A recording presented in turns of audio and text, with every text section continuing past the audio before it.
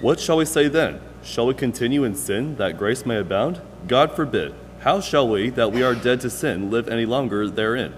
Know ye not that so many of us as were baptized into Christ into Jesus Christ were, were baptized into his death? Therefore we are buried with him by baptism into death, that like as Christ were, was raised up from the dead by the glory of the Father, even so we should we also should walk in newness of life.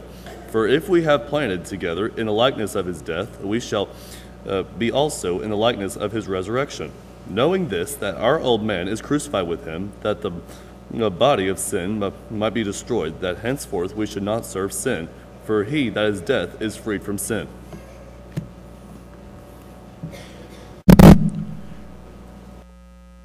Many of you are studying the book of Romans. It's a beautiful book, and it sets forth the plan of God's salvation more thoroughly than any other book in all the Bible. So it's a very important book for God's people. It not only teaches us many beautiful concepts, the book of Romans is also very comforting and very edifying for the people of God.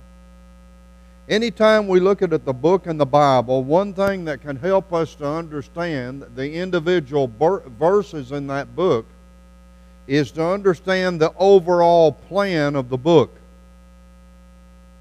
to simply turn to a passage and try to understand it is rather difficult to do. We need to understand the purpose of the book and the plan of the entire book before we begin to look at individual sections of the book. Before we can understand individual verses in the book of Romans, we have to understand the entire book itself we have to have an understanding of how the entire book fits together and how the arguments so intricately fit together and teach such beautiful lessons. And that's what I would like for us to do briefly is to look at that this morning. If you'll look in chapter 1, in chapter 1, verse number 1, we have the author of the book, Paul, an apostle of Jesus Christ, a servant of Christ, called to the gospel the word servant in verse number one. The word servant means slave. Paul had been a slave to sin. But now we learn in verse number one this apostle, called by God, is a slave to Christ. He explained that in Galatians 2:20 when he said, I am crucified with Christ. Nevertheless, I live, yet not I, but Christ liveth in me, in the life which I now live. I live by the faith of the Son of God who loved me and gave himself for me. In Galatians 6, verse number 14, he said, I am crucified unto the world, and the world is crucified unto me. He had become a slave to Christ. This should be true of every Christian. Romans 6, verse 17. God be thanked you were the servants of sin. That's the word slave. But you have obeyed from the heart that form of doctrine which was delivered you, being then made free from sin, you became servants of righteousness. We were slaves of sin, Romans 6 17. But now that we've obeyed the gospel, now we must understand we are now the slaves of righteousness, the slaves of Jesus Christ. Paul did some horrible things in his life, thinking that he was right. But now those things have been forgiven. He has become a Christian. He has begun a new life, and now he is a slave to Christ. In Romans 1, verse number 1. In verse number 7, we learn that he's writing to those who have been called by God. We are called by the gospel. 2 Thessalonians 2, verse number 14 he writes to those who have been called to be saints, sanctified, set apart. God calls us to be different from all the rest of the world. And Paul writes to those people in the city of Rome, verse number 7. In Romans 1, verse number 16, we have the theme of the entire book.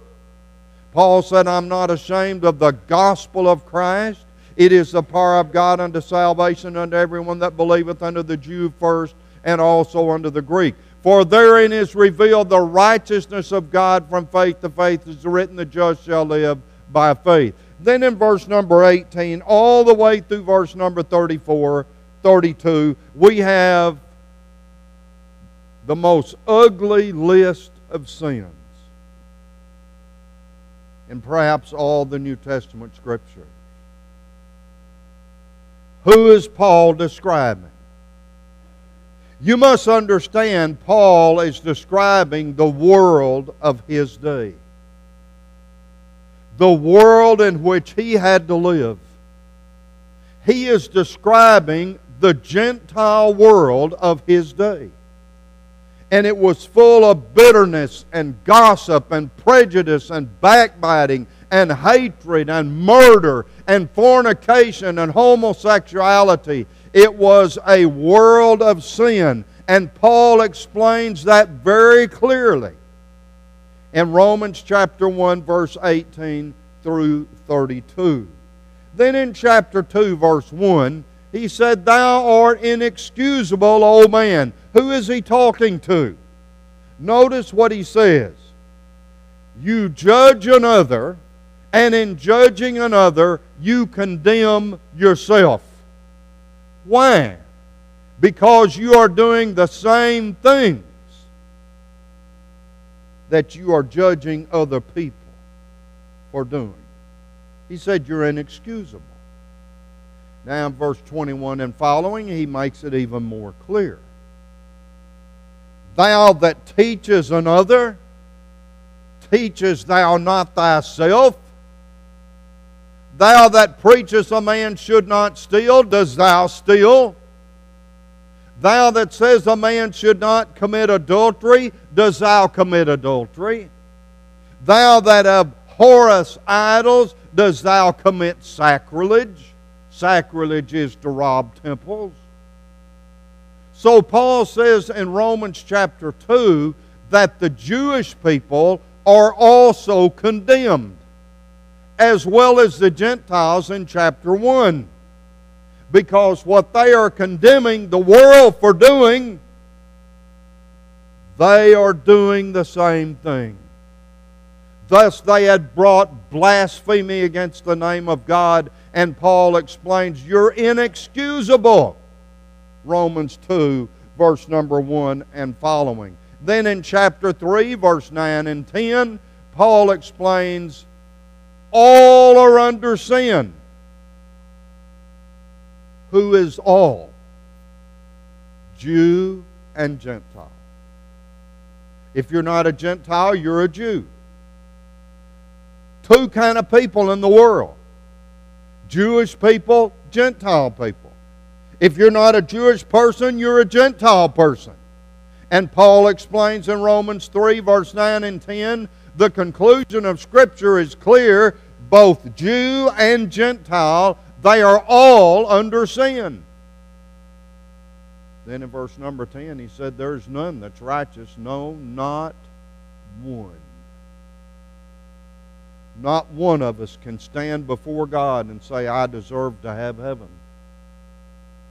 Not one of us can stand before our God on that great judgment day and say, I have earned it.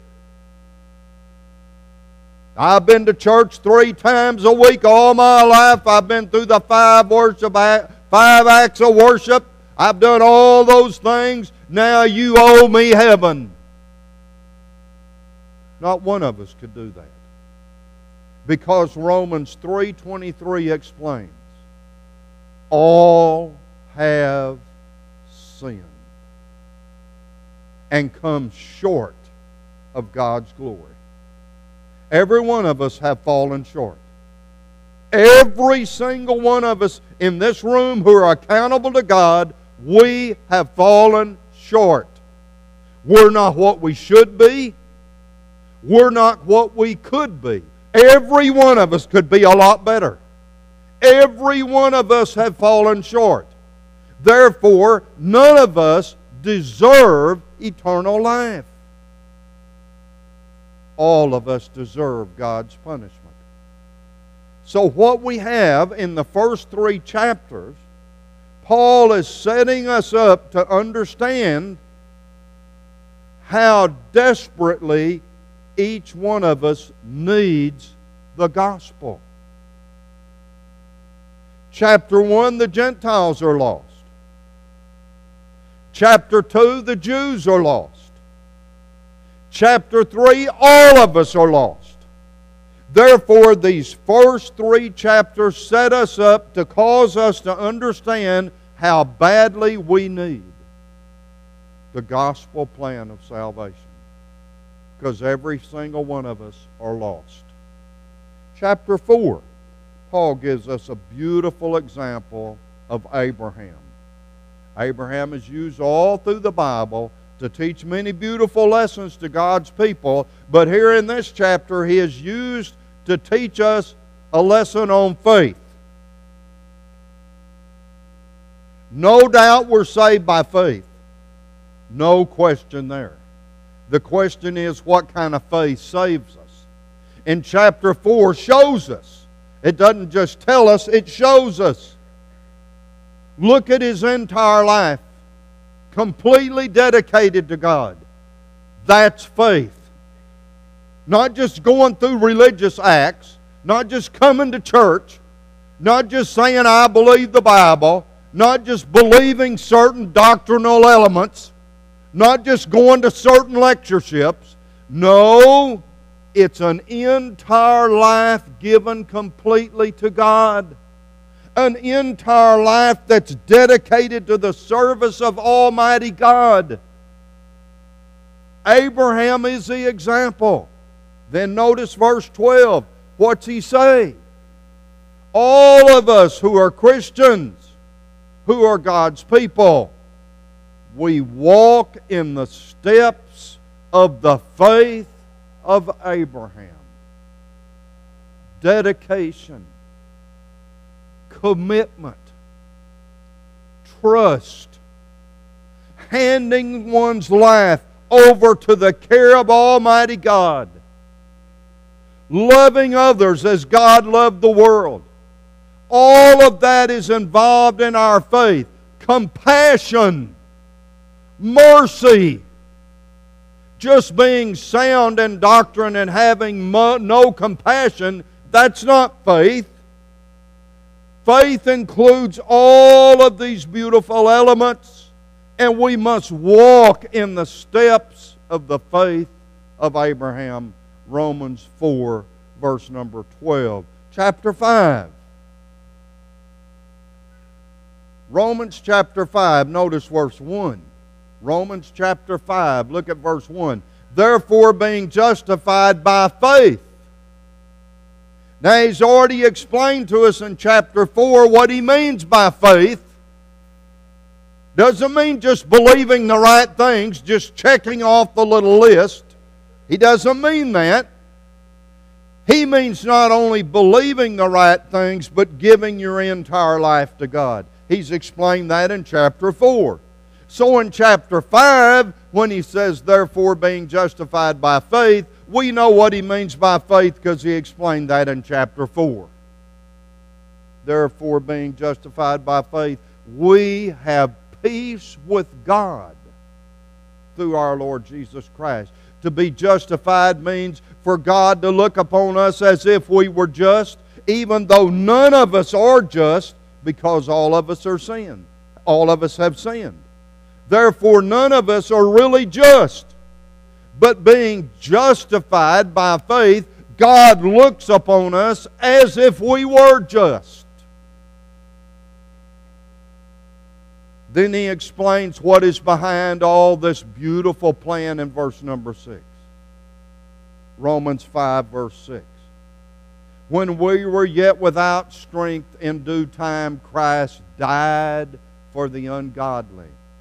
Scarcely for a righteous man would one die, yet peradventure for a good man some would even dare to die. But God commended his love toward us in that while we were yet sinners, Christ died for us. Verse 9 Much more than being now justified by his blood, we shall be saved from wrath through him, all based on the beautiful love of God. What does all of this mean? Look in chapter 6. What does it mean to be justified by faith? The Methodist Church, the Baptist Church, denominational churches teach it means the moment you believe in Jesus, you're saved.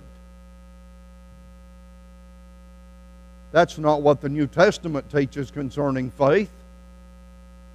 What does it mean to be justified by faith? Romans 6, verse 1. What do we say then? Shall we continue in sin that grace may abound? God forbid. How shall we that are dead to sin live any longer therein? Know you not that so many of us, as were baptized into Jesus Christ, were baptized into his death? Therefore, we are buried with him by baptism into death, that like as Christ was raised up from the dead by the glory of the Father, even so we also should walk in newness of life. For if we've been planted together in the likeness of his death, we shall be also in the likeness of his resurrection, knowing this that our old man is crucified with him, that the body of sin might be destroyed, that henceforth we should no longer serve sin. For he that is dead is freed from sin. Who's freed from sin in verse 7? Romans 6 7. Who has been freed from sin? Those who just say, I accept Jesus. No. No. Romans 6 7, those who have been freed from sin are those who have died. Who are those who have died? He's not talking about physical death. You will go back to Romans 6 3 through 5. He's talking about those who have died with Christ in the act of baptism in that beautiful act of faith, we died to the old man of sin. He was destroyed, he was buried, and in verse 5, we were raised up to walk in newness of life. Verse 17, God be thanked. Romans 6 17, you were servants of sin, but you obeyed from the heart that form of doctrine which was delivered you, thing being made free from sin, you became the servants of righteousness. In chapter 7, Paul discusses the relation of the Christian to law. Law by itself can save no one because law simply points out our flaws just like a mirror. Law shows us where we are wrong. It cannot save us. And he gives this illustration in Romans 7 1 through 4 about a lady who is married. He says she is bound by the law of her husband as long as he is alive. But if he dies and she marries another man, she's free from that law. But if while her husband be alive, she be married to another man, she shall be called an adulteress. Then he explains the point in verse number 7 we are dead to the law by the body of Christ, that we should be married to another, even to him who was raised from the dead, that we should bring forth fruit unto God. Romans 7, verse 4 God's people are not bound by that Mosaic law. We are joined to Jesus Christ, and we have a new life. What law is he talking about here? Is he just talking about the sacrifices and the burning of incense? No, he's not only talking about that. For in verse 6 and 7, he said, I would not have known sin except the law said. I would not have known lust except the law had said, Thou shalt not covet. What law said, Thou shalt not covet? Even these little children can tell you. Well, that's one of the Ten Commandments. Yes, it is. We are not bound by the Ten Commandments. We have God's people died to that law. The Jewish people, the Gentile people, were never under that law. but the Jewish people were, and they died to that law in Romans 7 4 through Jesus Christ. Chapter 8. Chapter 7 presents a dilemma. Notice verse 24. Oh, wretched man that I am. You look at all the beautiful writings of Paul. He's not talking about when he's a Christian. He's not saying when he's a Christian he's a wretched man. Think about it. He would never say that. He's talking about a person under the law. No one could keep it perfectly. Therefore, no one could be justified by the Mosaic law. Therefore, Paul is using an illustration and showing what it's like to be under that law. O wretched man that I am, who shall deliver me from the body of this death? It was death because everyone sinned. And everyone who sinned deserved death. Who shall deliver me? Verse 25. I thank God through Jesus Christ our Lord. Then you go right into chapter 8. No chapter and verse divisions in the original. We'll put those in for, for convenience. Now it's different. There is therefore now. See the word now in Romans 8 1? Now he's not under the Mosaic law. Now he's not under condemnation as he was in chapter 7, verse 24. Verse 25, he's been delivered. Romans 8 1 says, Now I'm delivered. There's therefore no condemnation to those who are in Christ Jesus, who walk not after the flesh, but after the Spirit. For the law of the body for the law of the Spirit of life has made me free from the law of sin and death. For what the law could not do, in that it was weak through the flesh, God sending His own Son in the likeness of sinful flesh, condemned sin in the flesh. So He begins to tell us in Romans 8 how wonderful it is to be a Christian. Blessings in Christ. Notice verse 18. I consider the sufferings of this present time are not worthy to be compared with the glory that shall be revealed in us. Think about that. All the sufferings of this present time are not even worthy to be compared with all of the glory that's going to be revealed in us. Are you suffering today? Are you hurting? Are you in tribulation? Notice what the Bible says in Romans 8 18. All the sufferings of this present time cannot even be compared to the glory that's going to be revealed in us. In verse number 28,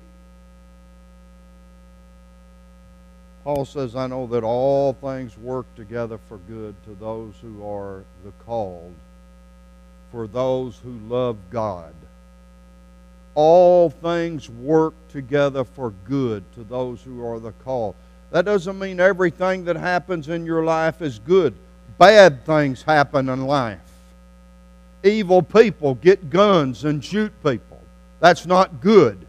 People get cancer and all kinds of diseases. That's not a good thing. But what did he say?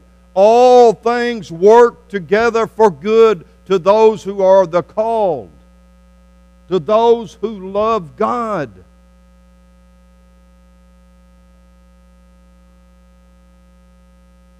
You look about at the world. What a mess. What a mess. And you honestly believe that we're going to elect someone who's going to straighten all this out, what world are you in? you must be on the mothership.